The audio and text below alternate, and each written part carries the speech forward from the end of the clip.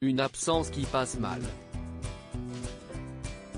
Grand favori de la cérémonie des Oscars, qui se déroulera au Dolby Theatre à Hollywood ce dimanche 27 mars, le film West Side Story, réalisé par Steven Spielberg, est en lice dans cette catégorie, dont celle du meilleur film, de la meilleure actrice dans un second rôle pour Ariana DeBose et du meilleur réalisateur.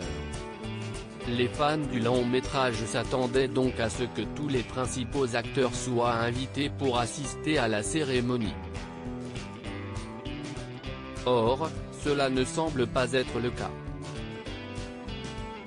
En effet, la jeune Rachel Zegler, qui joue le rôle de Maria dans le remake du film de 1957, n'a pas été conviée par les organisateurs. Une décision d'autant plus étonnante que la comédienne de 20 ans avait reçu le 9 janvier dernier le prix de la meilleure actrice dans une comédie musicale au Golden Globe. CIST sur Instagram que l'actrice d'origine colombienne a fait cette triste annonce?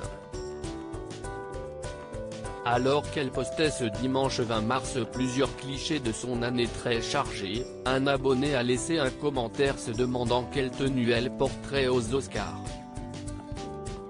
Rachel Zegler, j'attends toujours un miracle de dernière minute mais contre toute attente, Rachel Zegler a révélé qu'elle ne serait pas présente à la cérémonie.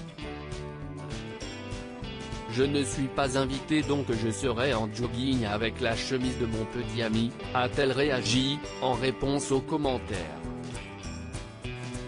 Des propos qui ont énormément surpris ses fans, persuadés que la jeune femme serait conviée à la cérémonie.